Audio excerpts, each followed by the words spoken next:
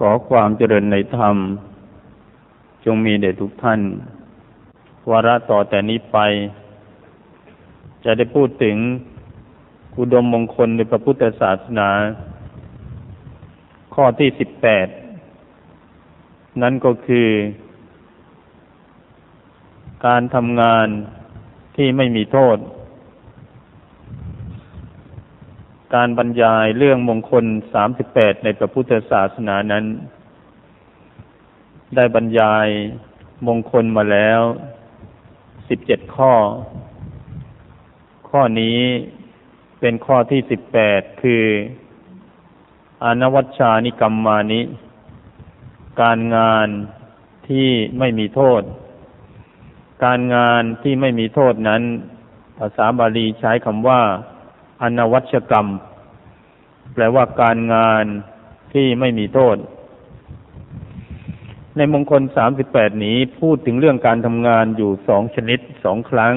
สองมงคล คือในมงคลข้อที่สิบสี่พูดถึง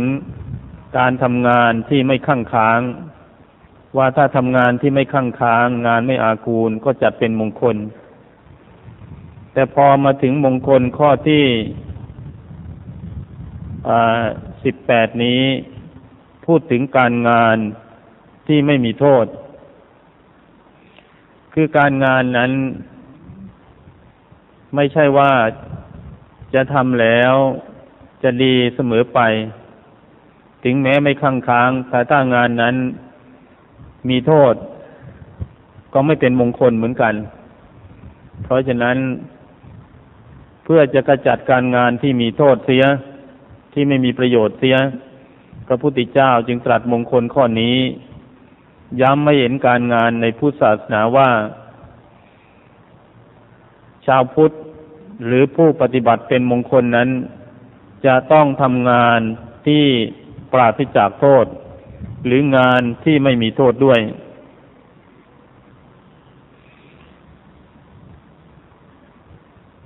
โรงงานที่ดีที่มีประสิทธิภาพไม่ใช่เพียงจะผลิตผลงานได้มากเท่านั้น แต่จะต้องผลิตงานที่มีคุณภาพ และมีประโยชน์ด้วย เช่นเดียวกัน คนเราจะเจริญก้าวหน้าทำประโยชน์ให้แก่ตนเองและผู้อื่น ได้มาก ไม่ใช่เพียงทำงานได้มากเท่านั้น แต่จะต้องเลือกทำงานที่ไม่มีโทษด้วย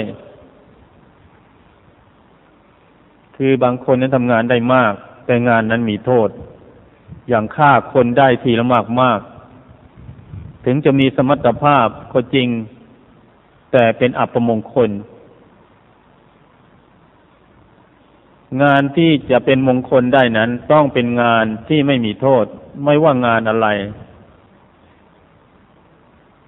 งานไม่มีโทษคืองานชนิดไหน งานไม่มีโทษตามที่อธิบายไว้ในอัตถกถามงคลสูตรนั้น ท่านชี้สองชนิดเท่านั้น คือหนึ่งการรักษาโบสถศีล แล้วสองการปลูกปลูกป่า ปลูกต้นไม้ ดูสิ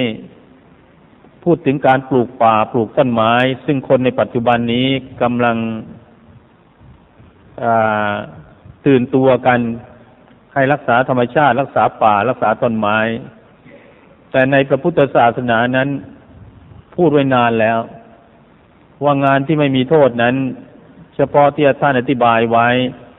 แน่กถามงคลสูตรว่า เช่นการรักษาโบสถและการปลูกป่าปลูกต้นไม้เพราะนั้นถือว่าเป็นมงคลเป็นการนำความเจริญ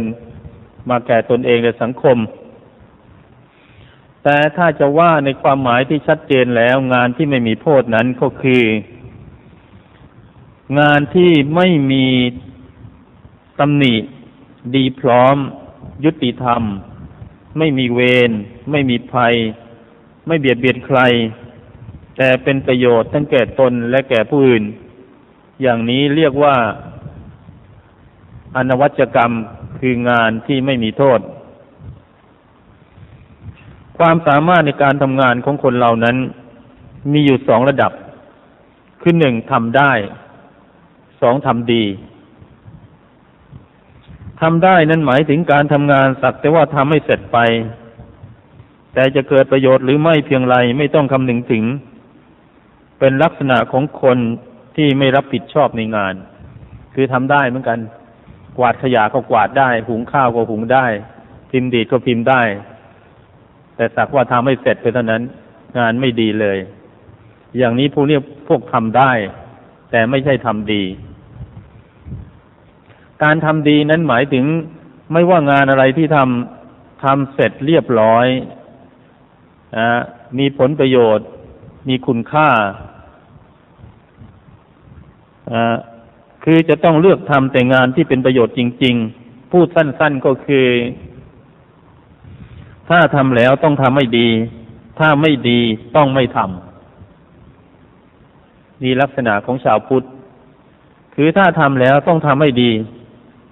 แต่ถ้าไม่ดีต้องไม่ทำเพราะฉะนั้นคนที่ทำงานนั้น บางคนทำได้ แต่ทำไม่ดี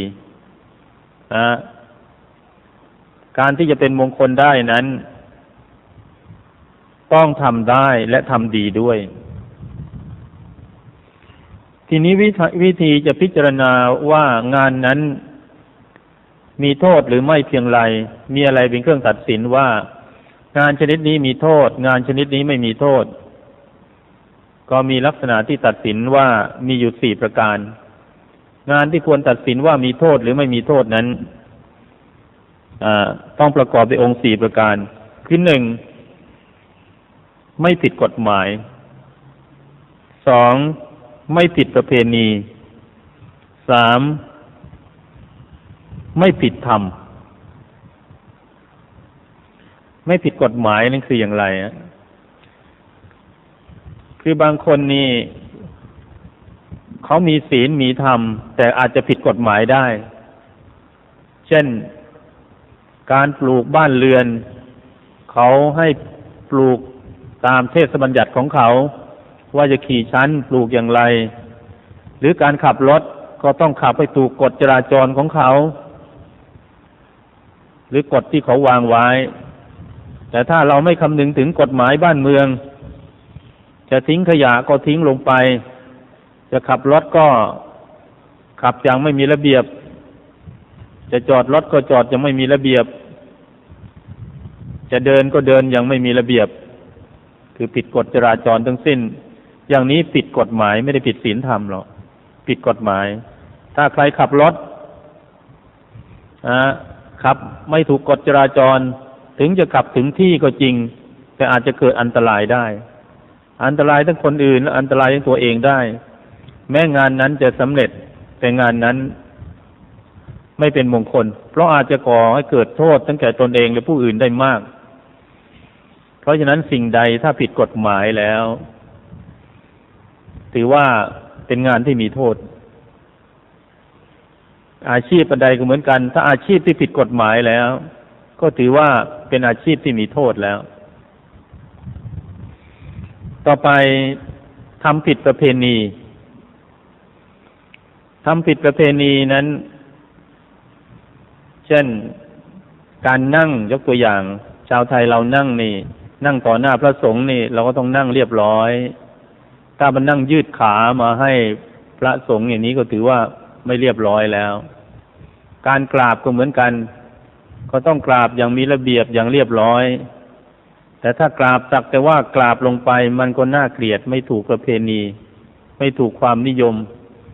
หรือผู้ใหญ่ฮะเราจะพูดจากับผู้ใหญ่ก็พูดด้วยความนอบน้อม ลักษณะถูกต้องตามประเพณี หรือแม้การแต่งตัวให้ถูกต้องตามระเบียบเพณีเช่นงานแต่งงานหรือแต่งตัวมาวัด หรือแต่งตัวไปงานศพอะไรนี้ ก็ต้องทำให้ถูกประเพณี แต่ถ้าหากว่าในงานศพใครแต่งตัวสีแดงแจ๊ดไปแสดงว่าหน้าตีแล้ว หรือในงานมงคลก็แต่งงานใครแต่งชุดดำไป อย่างนี้ก็ไม่ถูกแล้ว เพราะมันผิดประเพณีนิยมของเขา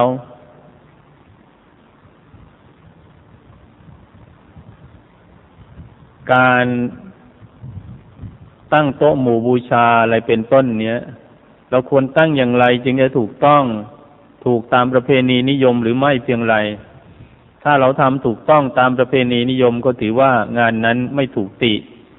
งานนั้นไม่มีโทษ อันนี้ไม่ผิดกฎหมายไม่ผิดประเพณีนะเป็นงานลักษณะของแบบทางโลกโดยทั่วไป ต่อไปงานที่ไม่มีโทษแบบทางธรรมจริง ๆ นะ คือไม่ผิดศีลและไม่ผิดธรรม ไม่ผิดศีลนี้ อย่างน้อยก็ไม่ผิดศีลห้านะ ไม่ผิดศีลห้า คือ ไม่เป็นการฆ่า การทำลายล้างผู้อื่น ไม่เป็นการขโมย ไม่เป็นการแย่งชิง โกงกินของผู้อื่น ไม่เป็นการประพฤติผิดในทางกาม ไม่เป็นการพูดทัดหลอกลวงคนอื่น ไม่เป็นการเสพของเสพติดให้โทษ นี้หมายถึง ไม่ผิดศีล ไม่ผิดศีล แท้ที่จริงเรื่องไม่ผิดศีลนี้ ถ้าเราเอากรรมบทสิบเข้ามาจับนะ เราจะเห็นชัดว่าการงานใดเป็นการงานที่ผิดศีลไหม คือศีลกรรมบท ศีลกรรมบทนี่คืออย่างไรศีลกรรมบทนี้ก็บอกว่า มันเป็นกายกรรมอยู่สามวจีกรรมสามวจีกรรมสี่แล้วมโนกรรมสามกรรมนั่นคือการงานกายกรรมคือการทำในทางกาย วจีกรรมคือการทำทางวาจา มโนกรรมคือการทำทางใจการทำทางกาย งานใดที่ทำทางกาย ไม่ฆ่าสัตว์ไม่ลักทรัพย์และพฤติผิดในกาม งานนั้นชื่อว่างานไม่มีโทษ งานใดที่ต้องใช้ทางวาจา จะเป็นการต้อนรับแขกเป็นการพูดเป็นการติดต่ออะไรก็ตาม คือไม่พูดเท็จ ไม่พูดคำหยาบ ไม่พูดสอดเสียด ไม่พูดเพ้อเจ้อ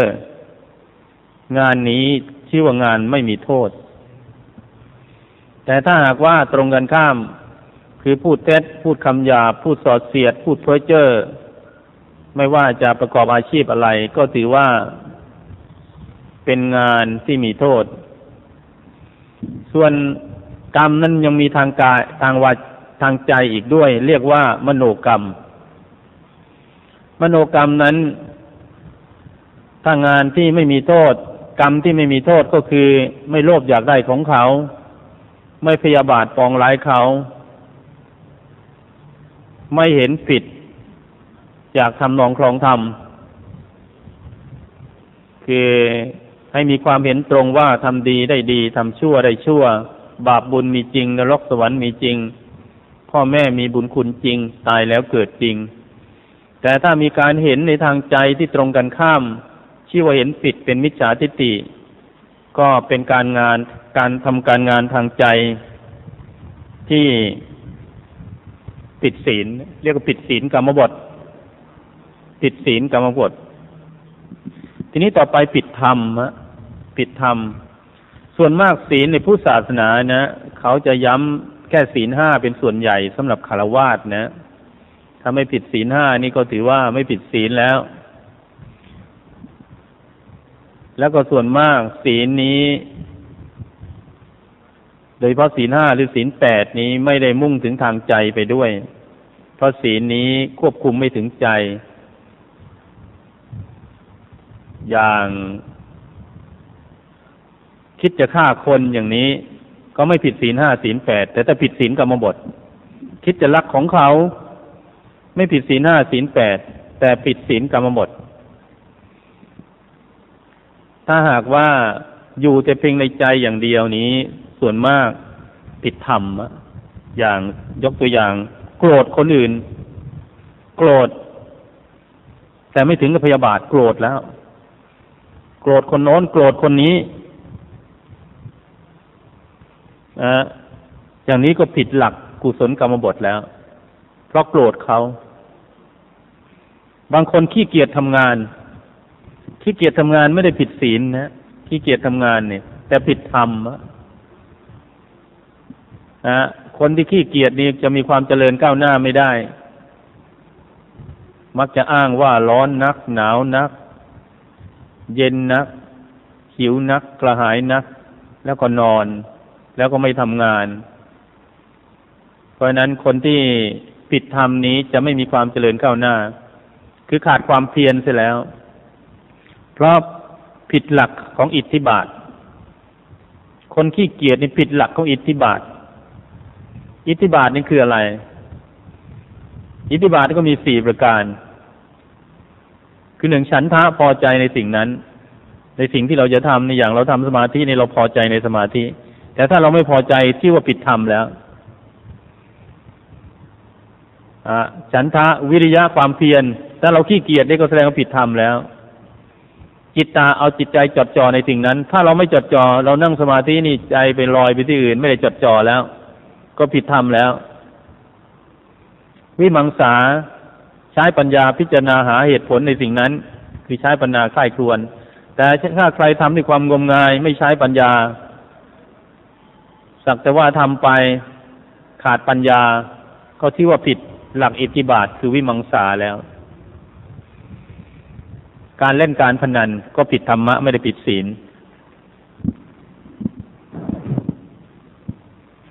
แล้วก็คนไทยเราเดี๋ยวนี้มีไม่น้อยที่ติดการพนันนะ โดยเฉพาะติดหวยติดเบอร์แล้วก็ แม้ในหมู่ราชการ บางทีก็ลุกลามไปในหมู่ภิกษุสามเณรก็ยังมี คืออยากจะรวยในทางรัฐนะพอจนอยู่นานแล้วเป็นความหวังของตนเอง แท้จริงมันปิดหลักอบายมุกเพราะพระพุทธเจ้าตรัสว่านี้เป็นทางแห่งความเสื่อม แต่บางคนบอกว่าถ้าความเพียรอยู่ที่ใดผลสำเร็จอยู่ที่นั้น เพราะฉะนั้นต้องเพียรซื้อให้ถูกสักครั้งหนึ่ง เพราะพระพุทธเจ้าตรัสว่าอย่างนั้นว่าความเพียรอยู่ที่ใดผลสำเร็จอยู่ที่นั้น อันนี้ไม่เข้าใจหลักความเพียรในพุทธศาสนา ความเพียรในพุทธศาสนานั้น ต้องเป็นสัมมาประธานคือเพียรละชั่วประพฤติดี ไม่ใช่เพียรเล่นการพนัน คือบางคนนี่ยังสงสัยอยู่ว่าการเล่นการพนันนี่ มันมีทางรวยได้ ท่านทั้งหลายพยายามสังเกตดูเถอะคนที่เล่นการพนันนี่ แม้จะถูกหวยรวยเบอร์จริง ๆ ก็เป็นบางครั้งบางคราวเท่านั้น และในที่สุดก็หมดในที่สุดก็หมด มีชาวจันบุรี เขาบางคนชอบไปวัดเขาสุกิม แล้วเมื่อไปแล้ว นอกจากไปทำบุญแล้วก็ไปมองดูจะหาหวยด้วย นะถ้าอาจารย์พูดอะไรต่างๆ ก็พยายามจดจำมาตีเป็นหวยนะแล้วบางทีก็ถูก เพราะเขาซื้อทีละมาก ถูกเป็นล้านก็มีนะ ทราบว่ามีผู้ทำเหมืองพลอยคนหนึ่งมาซื้อหวยนะเอาซื้อถูกหลายครั้ง รวยถึงสี่ล้านบาทแต่ในที่สุดหมดนะ ทรัพย์สมบัติที่มีก็ขายเกือบเกลี้ยง เพราะอะไรนะเพราะเหตุที่ว่าไปติดการพนัน พระพุทธเจ้าตรัสว่าอบายมุกการพนันนี่เป็นอบายมุกนะแปลว่าทางแห่งความเสื่อม แต่เราไม่ค่อยเชื่อ ไม่ค่อยเชื่อพระพุทธเจ้า ถือว่าอืมถ้าโชคดีมันก็รวยไป เพราะนั้นต้องต้องเอาให้ได้ ท่านจึงกล่าวไว้ว่า คนที่ติดการพนันนั้น เหมือนกับคนหวังความร่มเงาจากเมฆคือคนไหนที่ร้อนร้อนอยู่เห็นเมฆผ่านมาก็คิดว่าเดี๋ยว เมฆนั้นผ่านมาเราคงหายร้อน แต่บางทีก็ลมพัดไปทางอื่นเสีย เมฆนั้นนะบางทีก็มาตรงๆก็ได้ แล้วในที่สุดก็ผ่านไปอีกเมฆนั้น เจ้าประคุณสมเด็จ มหาวีระวงศ์ติดโสอ้วน วัดบรมนิวาสท่านพูดไว้ว่า เงินที่ได้มาจากการพนัน ใช้ได้หมดไว เหมือนการปลูกพืชล้มลุก คือปีเดียวก็หมดแล้ว พืชล้มลุกอย่างปลูกข้าวปลูกถั่วนี่ ส่วนเงินที่ได้มาจากการทำงานด้วยความขยันหมั่นเพียร อยู่ได้นาน เปรียบเหมือนการปลูกพืชยืนต้น อย่างปลูกมะม่วง ปลูกทุเรียน ปลูกตาตาล ปลูกมะพร้าวนี่อยู่ได้นานกินได้หลายปี ก็จริงนะคนไหนถ้าถูกหวยสักครั้งหนึ่งเพื่อนก็มาลุมกินนะลุมกันกินเลย บางทีก็เลี้ยงกันมากมากบางทีภายในไม่กี่วันหมดแล้ว แต่ถ้าเงินที่เราได้มันด้วยความขยันหมั่นเพียรเนี่ยเราจะไปเลี้ยงคนอื่นมากๆอย่างนั้นก็ไม่ได้ ก็ต้องกระเม็ดกระแม่เพราะเราทำไม่ได้อาบเหงื่อต่างน้ำเพราะฉะนั้นสุภาษิตบทหนึ่งซึ่งอาตมาเคยย้ำปาสุภาษิตปักใต้บทหนึ่งว่า ถูกโจรปล้นสักสิบครั้งยังเหลือบ้าน ถูกไฟผลาญไหม้สิ้นที่ดินเหลือ การพนันโปพ่ายใครไม่เบื่อ หมดไม่เหลือทรัพย์สินกินลูกเมีย ขายลูกขายเมียก็มีบางคน เพราะติดการพนัน อันในที่สุดก็หมด จะตั้งตัวบางคนนั้นที่เล่นการพนันตั้งตัวได้บ้างเหมือนกันบางครั้งบางคราวนะแต่จะเอาร่ำรวยเป็นหลักเป็นฐานนั้นยากนะยาก เพราะเป็นทางเสื่อมแห่งอบายมุกการงานอย่างเล่นการพนันนี่บางคนนี่เล่นเป็นอาชีพเลยนะบางคนนี่ เดินทางไปเล่นถึงฮ่องกงถึงมาเก๊าถึงสหรัฐนนเพราะว่าชอบแต่ในสหรัฐนี่เขาก็เปิดรัฐคืนสองรัฐสำหรับให้นักเล่นการพนันไปนะก็พวกนักเล่นการพนันก็ไปติดกันมากแต่ในที่สุด พวกที่หมดตัวก็มีมาก พวกอาจจะตั้งตัวได้ก็อาจจะมีมาก มีบ้างบางส่วน แต่โดยทั่วไปแล้ว ไม่ใช่ทางแห่งความเจริญ การทำงานผิดอย่างนี้เรียกว่าผิดธรรมผิดธรรม งานที่ผิดธรรมนี่ ไม่ใช่ผิดศีล ถ้าผิดศีลนี่ทำให้ตกนรกได้แต่ผิดธรรมนี่ไม่ตกนรก อย่างคนที่เกียจนอนอย่างเดียว ไม่ทำงานนี่ไม่ไม่ตกนรกหรอกคนเล่นการพนันก็เหมือนกัน ไม่ไม่ได้ตกนรกหรอกเพราะผิดธรรมไม่ได้ผิดศีล มันผิดธรรม ต้องแยกระหว่างผิดศีลกับผิดธรรมไม่ออกนะศีลในศีลห้าศีลแปดหรือศีลกรรมบทเป็นต้นนะทีนี้ประเภทของงานที่ไม่มีโทษนั้น เราอาจจะแบ่งได้ออกเป็นสองชนิด คือหนึ่งงานที่ทำเพื่อประโยชน์ตน สองงานที่ทำเพื่อประโยชน์ผู้อื่น งานที่ทำงานที่ไม่มีโทษ ผู้ทำงานสองประเภทนี้ถูกต้องและสมบูรณ์ต้องไปทำตามกฎเกณฑ์ทั้งสี่ประการนั้น คืองานที่เป็นประโยชน์ตนเป็นประโยชน์ผู้อื่น แล้วก็ต้องวางหลักอยู่ว่าเป็นประโยชน์ตนเป็นประโยชน์ผู้อื่นนั้นหนึ่งต้องไม่ผิดกฎหมาย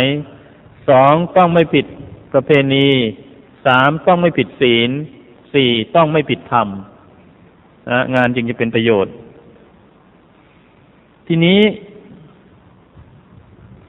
อีกประการหนึ่งในหลักพระพุทธศาสนาแม้ แต่การประกอบอาชีพเนี่ย อาชีพของคนบางคนนี่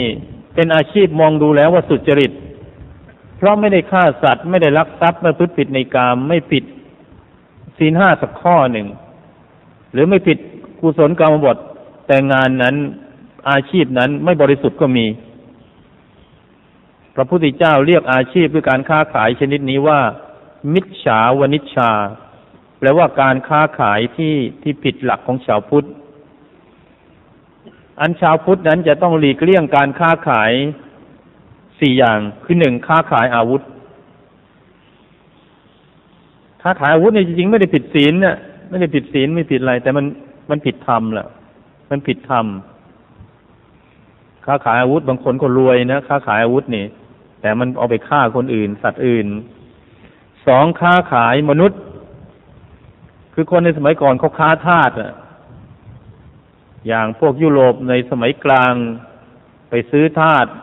เอาทาสมาจากแอฟริกาไปขายทางอเมริกา หรือทางยุโรปสี่ค้าขายยาพิษอ่าเดี๋ยวนี้ยาพิษนี่มัน แม้แต่ยาฆ่ามาแมลงนี่ก็ถือว่าเป็นยาพิษเหมือนกัน เพราะเป็นพิษ เป็นทำให้ผู้อื่นตาย สัตว์อื่นตายสี่ค้าขายยาเสพติด ยาเสพติดนี่ หรือยาแม้แต่น้ำเมาผู้เฮโรอีนในต่างนี้ก็ถือว่าเป็นอาชีพที่ไม่สุจริตห้าค้าขายสัตว์เพื่อนำไปฆ่า อย่างค้าขายหมูอะไรเนี้ย เพื่อจะนำไปฆ่านี่ฮะก็ถือว่าเป็นมิจฉาบณิชา แต่ไม่มีปัญหาว่าบางคนเขาไม่กล้าขายแต่เขาเลี้ยงเขาเลี้ยงหมูเขาเลี้ยงไก่นะเวลาคนมาซื้อเขาก็ขายเหมือนกันก็มาขายอย่างนี้ก็ชื่อว่าชื่อว่าค้าขาย สัตว์ที่จะก็นำไปฆ่าเหมือนกัน ถามว่ามันบาปไหม พูดถึงบาปนั้นมันยังไม่บาปเพราะเราไม่ได้ฆ่า และเราไม่ได้ใช้เขาฆ่า แต่เราขายไปเขารู้แล้วว่าเขาเอาไปฆ่านะแต่เราไม่ได้ใช้เขานี่เพราะบาปมันต้องเกิดจากเจตนาใช่ไหมเจตนาจะฆ่าหรือใช้เขาฆ่า แต่นี้ไม่ฆ่าเองแล้วไม่ได้ใช้เขาฆ่า แต่ขายไปเพื่อเขาเอาไปฆ่านะเพราะนั้นผิดธรรมผิดธรรมนะ ฉะนั้นชาวพุทธที่พอมีอันจะกินแล้ว เคยเป็นชาวประมง เคยเลี้ยงหมูเลี้ยงเป็ดเลี้ยงไก่อะไรเพื่อขายเนี่ย เขาจะเลิกเขาจะเลิกเพราะชีวิตทำมาตั้งแต่วัยหนุ่มสาวแล้ว ข้าววัยแก่เข้าไป พอมีอันจะกินแล้วก็เลิกเลยเพราะเห็นว่ามันผิดธรรมะเป็นการงานที่มีโทษ ค้าขายที่มีโทษ ทีนี้ส่วนการงาน ที่ทำแล้วเป็นประโยชน์ต่อส่วนรวม การงานที่ทำเพื่อประโยชน์ตนนั้นก็ถือว่าถ้ามีมีคุณค่ามีประโยชน์ก็ถือว่าการงานนั้นเป็นการที่เป็นมงคล ส่วนการงานที่ทำเพื่อส่วนรวม คือช่วยเหลือคนข้างเคียง ช่วยเหลือประโยชน์ส่วนรวม เช่น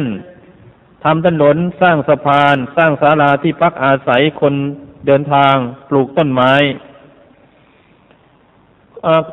ในพุทธศาสนาเขายกตัวอย่างการงานที่ไม่มีโทษไว้หลายอย่าง เช่น การรักษาโบสถศีล นี่ก็ถือว่าเป็นการงานไม่มีโทษ ในคำพีพุทธศาสนานี่บรรยายเรื่องนี้ไว้อย่างละเอียดทีเดียว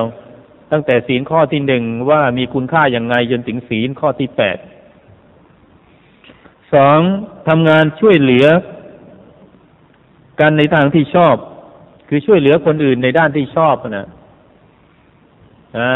เช่นเขาสร้างบ้านก็ช่วยสร้างเขาเขาช่วยทำกับข้าวเลี้ยงพระก็ช่วยเขาอะหรือช่วยกวาดถนนอะไรนี้เป็นต้นช่วยนำคนแก่ข้ามถนนคนเจ็บไข้ได้ป่วย เราก็ช่วยเหลือเขา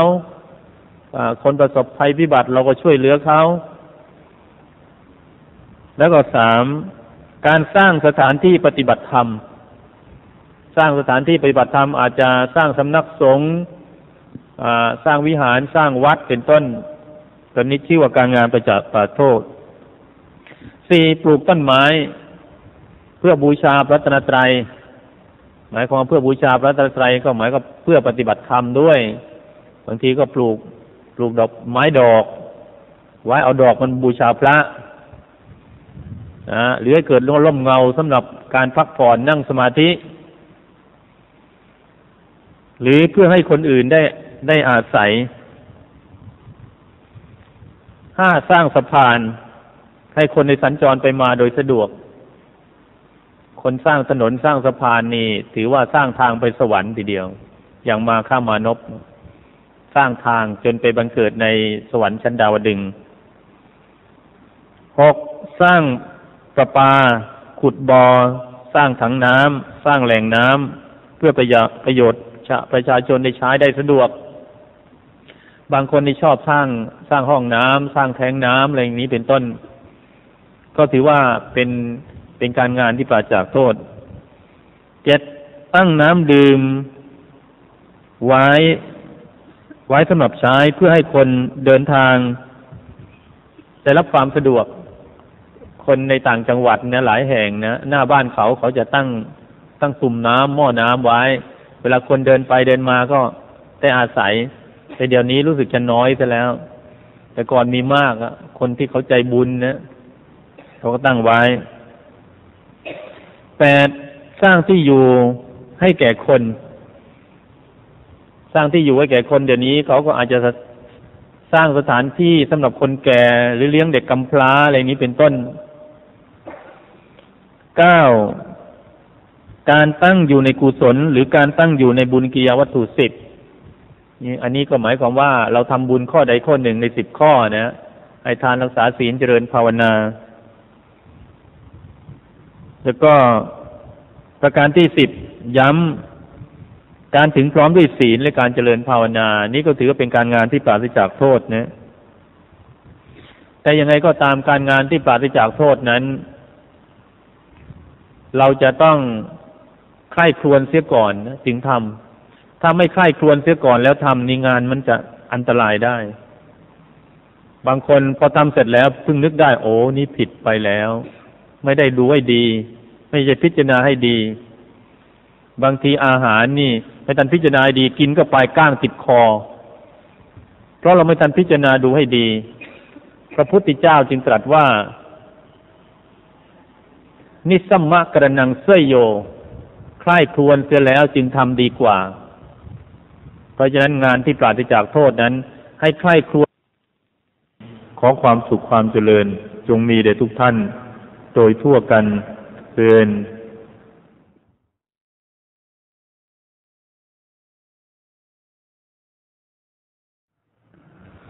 ขอความเจริญในธรรม จงมีแด่ทุกท่าน วันนี้ จะได้พูดถึงอุดมมงคลในพระพุทธศาสนา ต่อจากคราวที่แล้ว ซึ่งอุดมมงคลในพุทธศาสนาจะพูดในวันนี้ เป็นมงคลข้อที่สิบเก้านั่นก็คือการงดเว้นจากบาป การงดเว้นจากบาป เรื่องการบรรยาย เกี่ยวกับมงคลสามสิบแปดประการในพระพุทธศาสนาของเรา ก็ได้บรรยายมาแล้ว ถึงสิบแปดมงคล ในสิบแปดมงคลนั้น เป็นมงคลที่เกี่ยวกับการสร้างชีวิต ส่วนมงคลตั้งแต่ข้อสิบเก้าเป็นต้นไปนั้น เป็นมงคลที่เกี่ยวกับการสร้างจิตใจ ขอย้ำว่ามงคลนี้เราแบ่งเป็นสองส่วน คือตั้งแต่ข้อหนึ่งถึงข้อที่สิบแปดเกี่ยวกับการสร้างชีวิต เช่นการไม่คบคนพาลคบบัณฑิต บูชาคนที่ควรบูชา สั่งสมบุญไว้แต่ปางก่อน การมีระเบียบวินัย การพูดวาจาสุภาษิต การบำรุงเลี้ยงพ่อแม่ การสงเคราะห์บุตรพัญญา การงานที่ไม่มีโทษ หรือการงานที่ไม่ค้างคาเป็นต้น รวมแล้วสิบแปดข้อสิบแปดข้อข้างต้นนี้เกี่ยวกับการสร้างชีวิต คือชีวิตจะก้าวหน้าขึ้นมาได้ ก็ต้องมีมงคลเหล่านี้ ส่วนอีก ตั้งแต่ข้อสิบเก้าเป็นต้นไปจนถึงข้อสุดท้ายนั้น เป็นการสร้างจิตใจให้สูงขึ้นตามลำดับ โดยเฉพาะมงคลข้อที่สิบเก้านี้คือ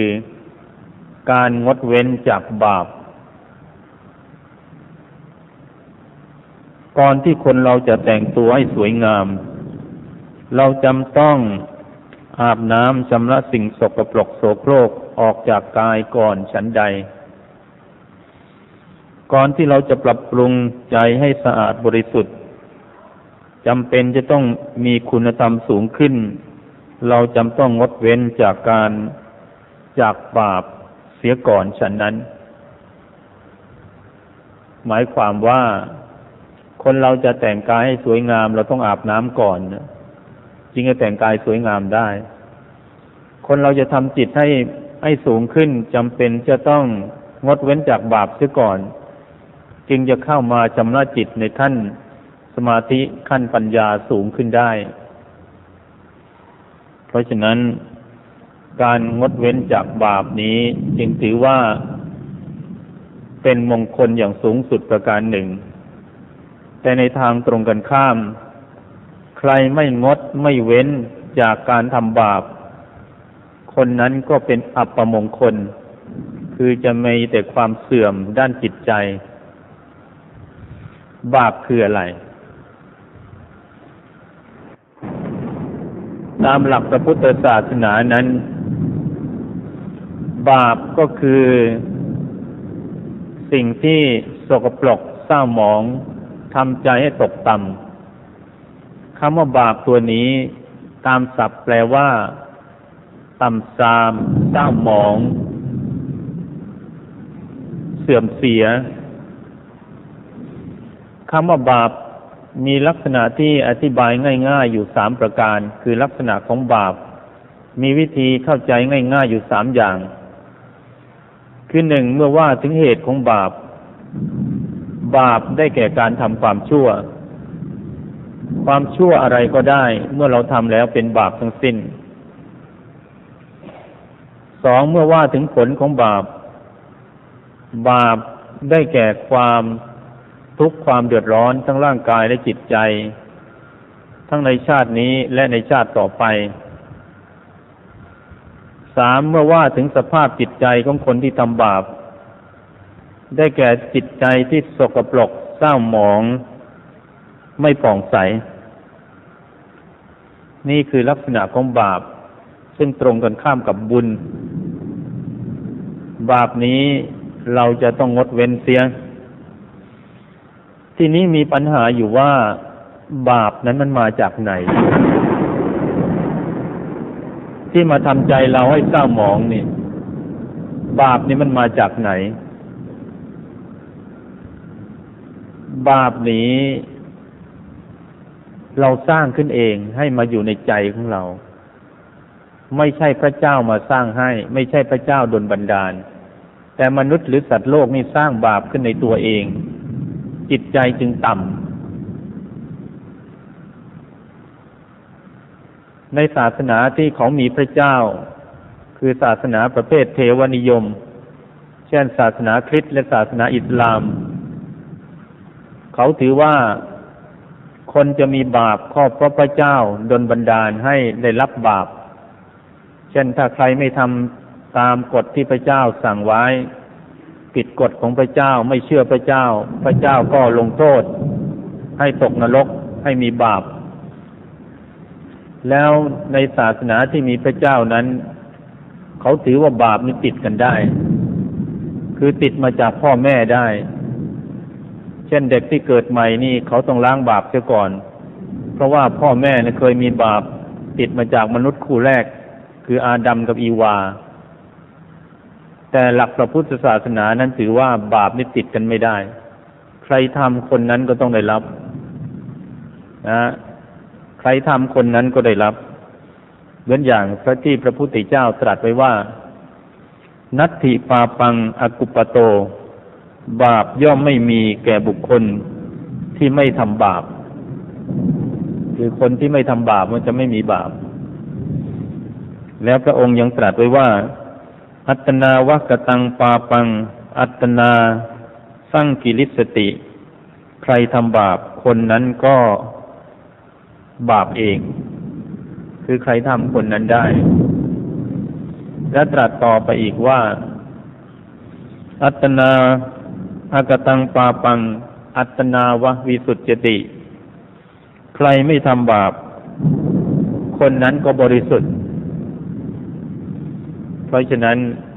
หลักพระพุทธศาสนานั้น ถือว่าบาปไม่เกี่ยวกับใครมาสร้างให้ เราสร้างขึ้นมาในใจของเราเองทำให้ใจของเราสกปรกเอง ใจปกตินั้นบอกแล้วว่าเหมือนผ้าขาวที่บริสุทธิ์ แต่ผ้าขาวนั้นสกปรกไปเพราะสิ่งสกปรกอื่นๆเข้ามาทำผ้าขาวนั้นสกปรกจิตก็เหมือนกัน สิ่งที่จะเป็นตัวบาปได้นั้น คือคนที่ผิดขั้นศีล แต่กิเลสขั้นอื่น ๆ มันนอนสงบนิ่งอยู่ในสันดานเป็นธรรมชาติที่ติดจิตมาแล้ว เมื่อเราเกิดมานั้นมีกิเลสตัวจิตจิตอยู่แล้ว แต่กิเลสนั้นถ้าไม่คนได้สั่งสมบาปขึ้นได้อีก เพราะฉะนั้นเราจะต้องระวังไม่ให้บาปเกิดขึ้นในใจของเราได้ บางศาสนานั้นเมื่อทำบาปแล้วเขามีการล้างบาป คือมีการล้างบาป เออแต่ตามหลักพระพุทธศาสนาบาปนี่ล้างไม่ได้ ใครทำไว้คนนั้นจะต้องได้รับผลของบาป อย่างศาสนาคริสต์ถ้าใครทำบาปแล้วไปสารภาพต่อพระเจ้า พระเจ้าก็ยกโทษบาปไปได้หมด แต่ในหลักพระพุทธศาสนานั้น ถ้าหากว่าใครทำบาปไปแล้ว บาปนั้นจะยกโทษให้แก่แก่กันไม่ได้ อย่างถ้าเราทำผิดต่อพ่อแม่ พ่อแม่อาจจะยกโทษให้แก่เราได้ แต่ตัวบาปนั้นมันยกโทษไม่ได้ เพราะมันเป็นกฎธรรมชาติ เหมือนอย่างไฟเป็นของร้อน ใครไปจับไฟข้าว มือก็ต้องพอง จะไปขอร้องต่อไฟว่า อย่าร้อนเลยขอโทษเถอะก็เราไม่รู้ว่าเองร้อน ไฟก็ไม่ยอม เพราะไฟนี่เป็นธรรมชาติ มันก็ต้องร้อน แต่ถ้าเราทำผิดกับใคร เราขอโทษ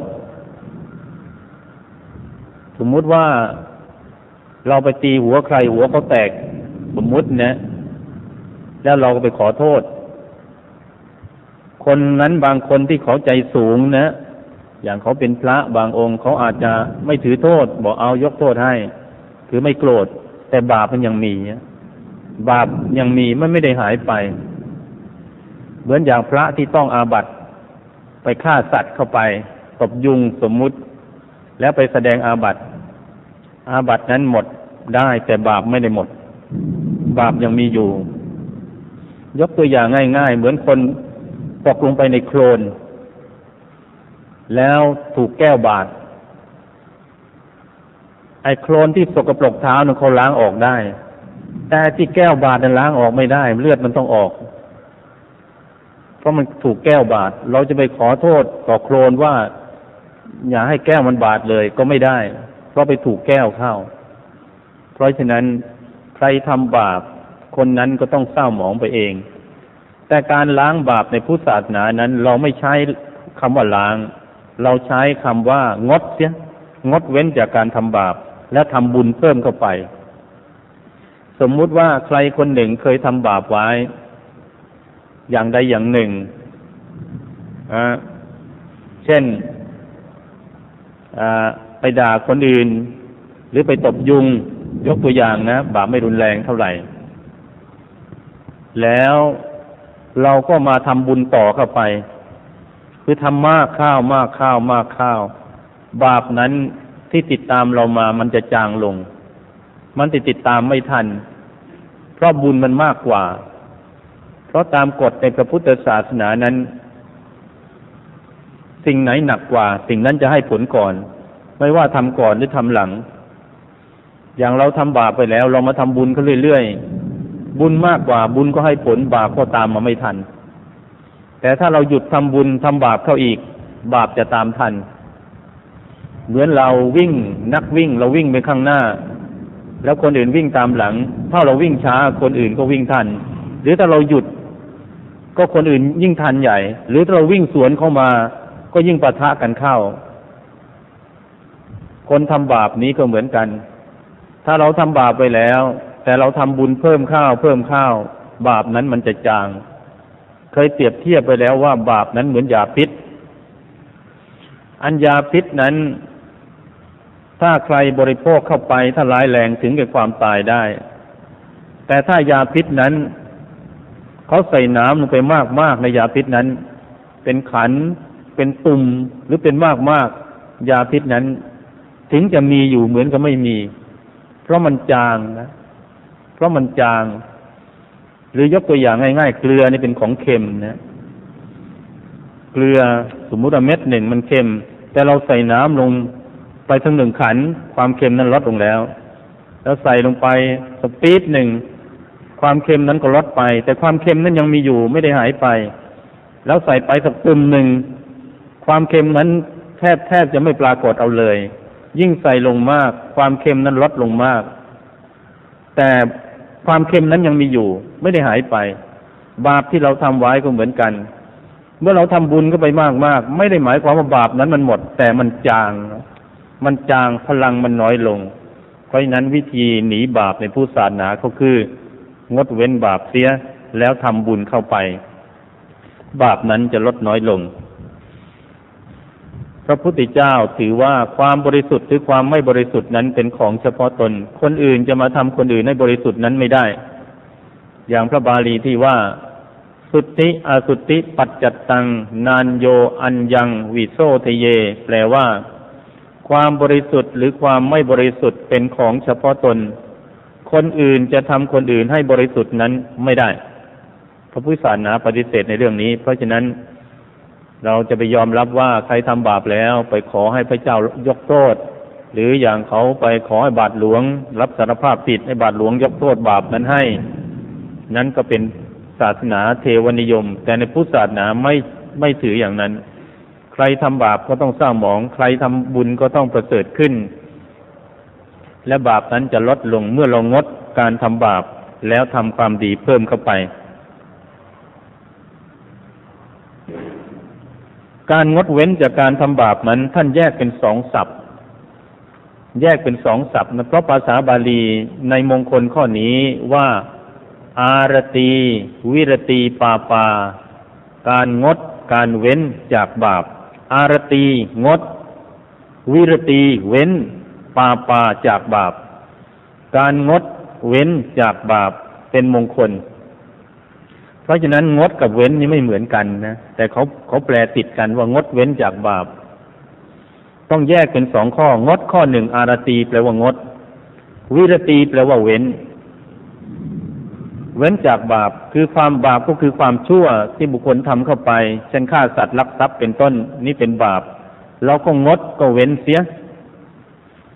งดกับเว้นนั้นต่างกันนะพิจารณาดูให้ดี งดกับเว้นต่างกันสมมุติว่า เราเคยฆ่าสัตว์ลักทรัพย์ หรือประพฤติผิดในกาม หรือทำบาปข้อใดข้อหนึ่ง แล้วเรางดเสีย เราไม่ทำสิ่งนั้นต่อไป สิ่งใดที่เราเคยทำไว้ แล้วเรางดเสีย อย่างนี้เรียกว่าอารตีคืองด แต่ถ้าสิ่งไหนที่เรายังไม่เคยทำเลย ยังไม่เคยฆ่าคน ไม่เคยพูดเท็จ ไม่เคยดื่มน้ำเมา เราไม่ดื่ม ไม่ดื่มอย่างนี้เรียกว่าเว้น เราไม่ดื่ม สิ่งไหนที่ยังไม่เคยทำเราไม่ทำเราเว้นเสีย อย่างนี้เรียกว่า วิรตีเว้น แต่ถ้าสิ่งไหนเราเคยทำแล้ว เราเลิกทำเสียอย่างนี้เรียกว่างด อย่างเคยติดเหล้าแล้วเนี่ย ก็ไม่กินเหล้าเสียเรียกว่างดกินเหล้าไม่ใช่เว้นกินเหล้านะงดกินเหล้าแต่ถ้าคนไหนที่ไม่เคยติดเหล้าไม่ติดบุหรี่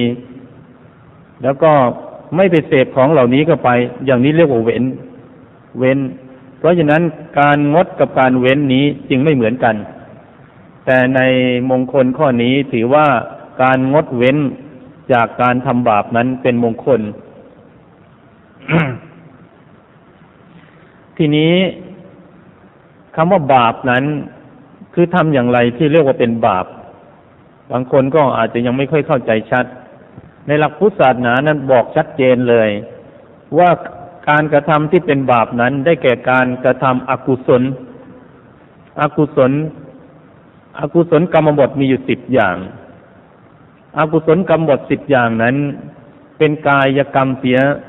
สามอย่าง วจีกรรมเสียสี่อย่าง มโนกรรมเสียสามอย่าง กายกรรมการทำทางกายที่เป็นอกุศลนั่นคือฆ่าสัตว์ฆ่าคนหนึ่งลักทรัพย์ขโมย แย่งชิงปล้นโกงคอร์รัปชันสามประพฤติผิดในกาม นี่ทางกายสามอย่างนี้ถ้าใครทำนี่ เป็นบาป เรียกว่าบาป ซึ่งเกิดจากกายกรรม ส่วนทางวาจานั้น มีสี่อย่าง เรียกว่าวจีทุจริต คือหนึ่งพูดเท็จสองพูดคำหยาบสามพูดสอดเสียดสี่พูดเพ้อเจ้อ นะพูดเท็จก็คือพูดโกหกนั่นนะพูดคำหยาบก็คือ ด่าว่าเขาเจ็บเจ็บกันน่ะให้เขาเจ็บใจนั่นน่ะพูดส่อเสียดก็คือยุยงให้คนโน้นคนนี้แตกกันน่ะ พูดเพ้อเจ้อก็คือพูดเหลวไหล พูดไร้สาระพูดตลกโปกฮาพูดหยาบโลนพวกนี้เรียกว่าพูดเพ้อเจ้อส่วนมโนกรรมการกระทำทางใจก็มีสามอย่าง เป็นบาปเหมือนกัน คือหนึ่งโลภอยากได้ของเขา คืออยากจะได้ อยากจะเห็นของคนอื่นอยากจะเอามาเป็นของของเรา คืออยากจะขโมยนะพูดง่ายๆอะ อยากจะขโมย เพียงแต่อยากจะขโมยนี่ก็เป็นบาปแล้วสองพยาบาทปองร้ายเขา คืออยากจะฆ่าเขา อยากให้เขาฉิบหาย คือพยาบาทแล้วมันโกรธแล้วมันพยาบาทแล้ว นี่ก็เป็นบาป แม้ยังไม่ลงมือทำก็เป็นบาปแล้ว อย่างเครียดแค้นใครเขา อยากให้เขาตาย อยากจะฆ่าเขาอยากมีจิตใจเศร้าหมองแล้ว และประการที่สามคือเห็นผิดจากทำนองครองธรรม แม้ยังไม่ลงมือทำแต่เพียงที่คิดเห็นผิดนี่ก็เป็นบาปแล้ว เช่นเห็นว่าพ่อแม่ไม่มีบุญคุณ บาปบุญไม่มี นรกสวรรค์ไม่มี ตายแล้วก็ศูนย์ เป็นหนี้เป็นสินเขาช่างมัน สุขเสียให้พอในชาตินี้ พวกนี้เป็นมิจฉาทิฏฐิเป็นบาปแล้ว แต่มิจฉาทิฏฐินั้น เราจะต้องเข้าใจว่ามิจฉาทิฏฐิที่จัดเป็นบาปตรงกันข้ามกับสัมมาทิฏฐินั้น ท่านกล่าวถึงมิจฉาทิฏฐิสิบมิจฉาทิฏฐิสิบมิจฉาทิฏฐิสิบคืออะไร คือหนึ่ง นัตถิดิดดัง ทานที่ให้แล้วไม่มีผล นัตถิยิดทั้งการบูชาไม่มีผล นัตถิหูตัง การบวงสวงไม่มีผล นัตถิมาตา มารดาไม่มีคุณ นัตถิตีตา บิดาไม่มีคุณ นัตถิโลโก โลกนี้ไม่มี นัตถิปรโลโก โลกอื่นไม่มี แล้วก็ต่อไปอถือว่าผลก็กรรมดีกรรมชั่วไม่มี ถือว่าสัตว์ที่ลอยเกิดเป็นโอปปาติกะไม่มี ถือว่าคนที่ปฏิบัติดีปฏิบัติชอบจนสำเร็จเป็นพระหันไม่มี คนที่มีความคิดเห็นอย่างนี้เป็นมิจฉาทิฏฐิเป็นบาป ยังไม่ได้ลงมือทำเลย เพียงแต่คิดอย่างเดียวเป็นบาป อย่างนัตติดินนังถือว่าทานที่ให้แล้วไม่มีผล บางคนคิดว่าคนโง่ให้ทาน คนฉลาดรับทาน ทานนั้นมันไม่มีผลหรอก พวกคิดเห็นอย่างนี้ก็เป็นบาป หรือถือว่าการบูชาพระพุทธเจ้าบูชาพระเจดีย์ด้วยดอกไม้ทูบเทียนนี้ไม่ได้บุญ พวกคิดเห็นอย่างนี้ก็บาป หรือใครทำบุญ เลี้ยงแขก มีเลี้ยงแขกมากที่บ้าน บางคนบอกว่าถึงจะเลี้ยงแขกอย่างไรก็ไม่ได้บุญหรอกเอื้อเฟื้อเผื่อแผ่อย่างไงก็ไม่เป็นบุญหรอก ให้เขากินไปเท่านั้นนะ่ะ อย่างนี้ก็เป็นบาป ถือว่าพ่อแม่ไม่มีบุญคุณก็เป็นบาป ถือว่าโลกนี้ไม่มีคำว่าโลกนี้ไม่มีนะ่ะคือหมายความว่าบางคนนั้น เขาคิดเห็นว่าสัตว์ ที่ตายจากโลกอื่นมาเกิดในโลกนี้ไม่มีหรอก นี่ถือว่าโลกนี้ไม่มี ถือว่าโลกอื่นไม่มี หมายว่าคนที่ตายจากโลกนี้ไปเกิดในโลกอื่นไม่มี พวกนี้ก็เข้าใจผิด เป็นมิจฉาทิฏฐิ ถือว่าผลของกรรมดีกรรมชั่วไม่มี ถือว่าสัตว์ที่เป็นโอปปาติกะ เทวดาไม่มีผีไม่มี เปรตไม่มี สัตว์นรกไม่มี นี้เป็นมิจฉาทิฏฐิเป็นบาปแล้วถือว่าคนที่ปฏิบัติดีปฏิบัติชอบจนถึงสำเร็จเป็นอรหันต์ก็ไม่มี อันนี้เป็นบาปรวมเป็นมิจฉาทิฏฐิสิบมิจฉาทิฏฐิสิบประการนี้ ก็ถือว่าเป็นการทำบาป จึงขอสรุปว่าคำว่าบาปในพระพุทธศาสนานั้น ได้แก่อกุศลกรรมบทสิบคือเป็นกายกรรมสามวจีกรรมสี่ มโนกรรมสามกายกรรมสามคือไม่ฆ่าคือฆ่าสัตว์ลักทรัพย์ประพฤติผิดในกามวจีกรรมสี่คือพูดเท็จพูดคำหยาบ พูดส่อเสียด พูดเพ้อเจ้อมโนกรรมสามคือรอบอยากได้ของเขา พยาบาทปองร้ายเขา เห็นผิดจากทำนองครองธรรม คือมิจฉาทิฏฐิสิบนั่นเองอ วิธีงดเว้นจากการทำบาปทำยังไงจึงจะมีวิธีงดเว้นได้ เพราะเราฟังมงคลข้อนี้ต้องการจะงดเว้นจากบาปให้เกิดมงคลแก่ชีวิตของเรา การงดเว้นจากบาปนั้นท่านบอกว่าให้ผู้นั้นสร้างคุณธรรมสองอย่างขึ้นในตัว คือสร้างหิริกับโอตตะปะ พวกเราเคยได้ยินธรรมะสองข้อนี้นะ คือหิริความละอายในการทำบาป โอตะปะ ความเกรงกลัวต่อผลของบาป เราจะต้องสร้างขึ้น ต้องสร้างหิริ ละอายที่จะทำบาป และโอตะปะกลัวต่อผลของบาป คือบางคนนั้นไม่กล้าทำบาป ไม่ใช่เพราะกลัวผล แต่ว่ามันละอายไม่อยากทำโดยมาคิดถือว่าชื่อเสียงสกุลของเราอย่างนี้ เราก็ไม่ควรจะทำชั่ว จะทำตัวให้เสีย ก็ละอาย แต่บางคนนี่ละอายไม่ละอายหรอก แต่กลัว กลัวผลของบาป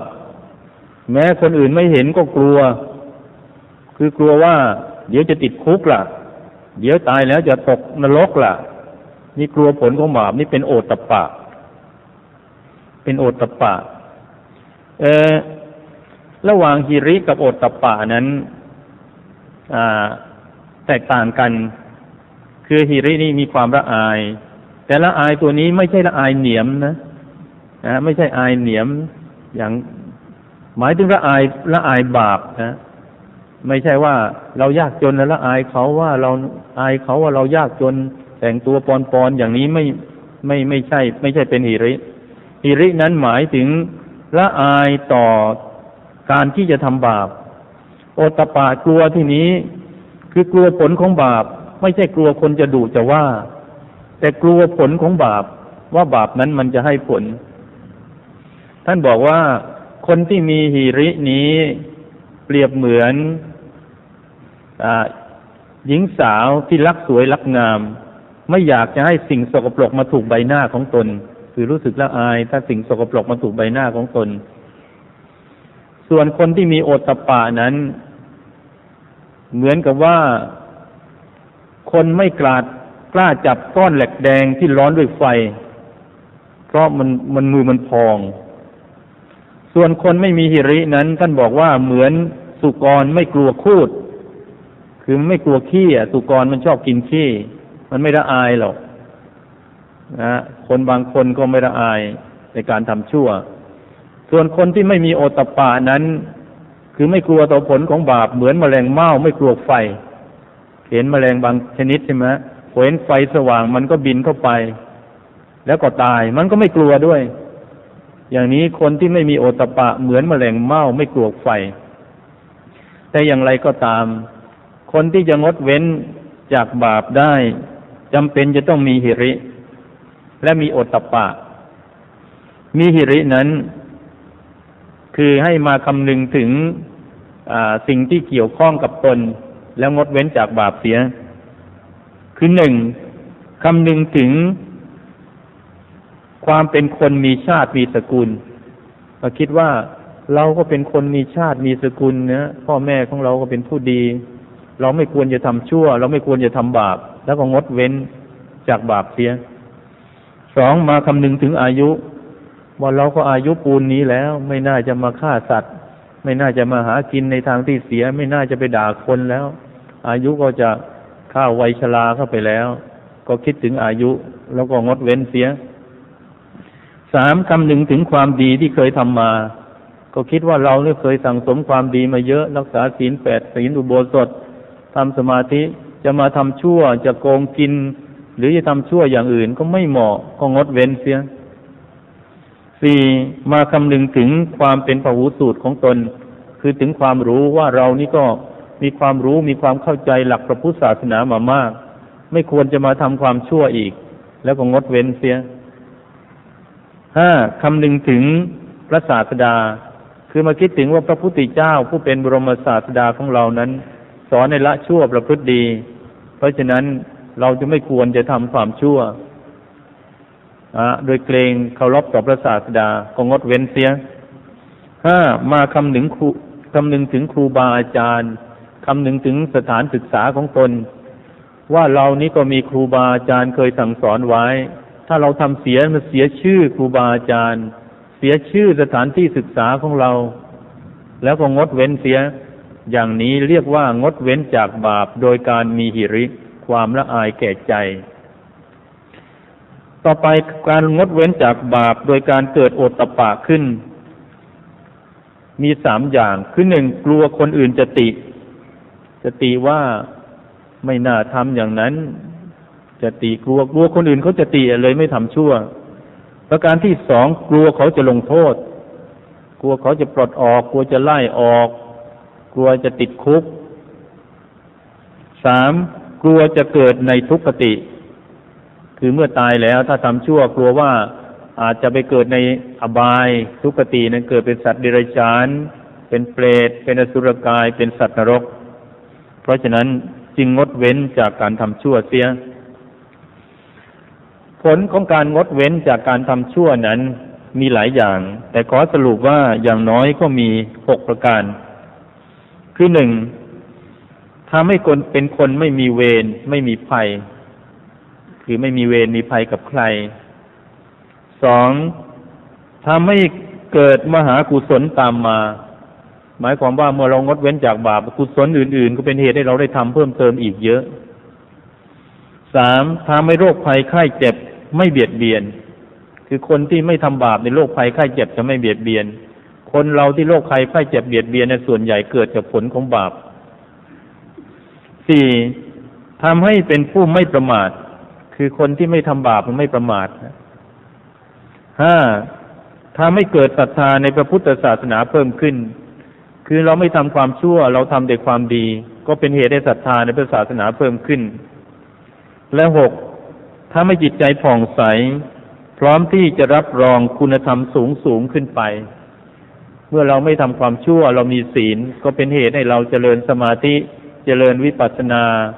ได้ดียิ่งขึ้น เพราะฉะนั้นการงดเว้นจากบาปจึงถือว่าเป็นมงคลอย่างสูงสุดแก่ชีวิตประการหนึ่ง การพูด เรื่องการงดเว้นจากบาป อันเป็นอุดมมงคลขอความสุขความเจริญจงมีแด่ทุกท่าน โดยทั่วกันเตือน